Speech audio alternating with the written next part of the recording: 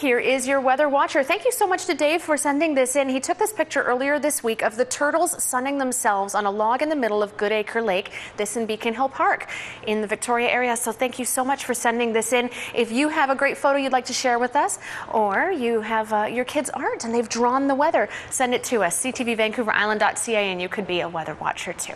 Great photo, Hudson. Yeah, like, so it looks like you're the turtle. oh, they were stacked up on top of each other. Yeah. yeah. Enjoying the sun. Absolutely. All right, Astrid, thank you. You're welcome.